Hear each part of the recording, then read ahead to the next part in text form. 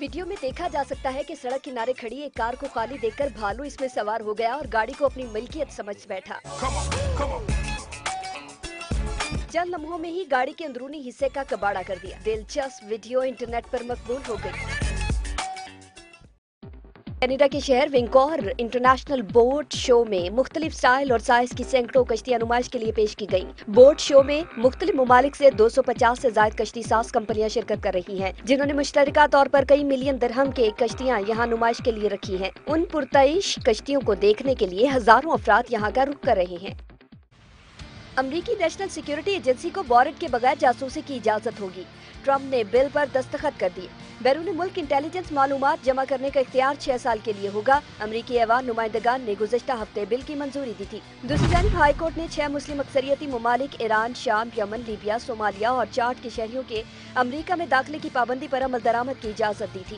ریاست ہوائی نے اس پابندی کو چیلنج کیا اور اب سپریم کورٹ اس پابندی کا جائزہ لے گی کہ آیا یہ پابندی فیڈرل امیگریشن قانون کے مطابق ہے یا اس کے خلاف۔ دلائل اندامہ سنے جائیں گے اور فیصلہ جون میں متوقع ہے۔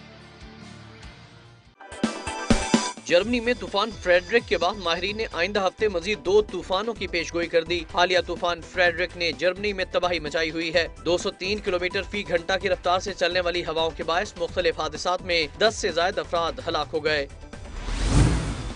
افریقی ملک کانگو میں شدت پسندوں کے ساتھ جھڑپوں کے دوران کانگو کے کم از کم ایک درجن فوجی ہلاک ہو گئے ہیں۔ کانگو اور یوگنڈا کی فوج نے شدت پسندوں کے خلاف گزشتہ ماہ سے ایک مشترکہ فوجی آپریشن شروع کر رکھا ہے۔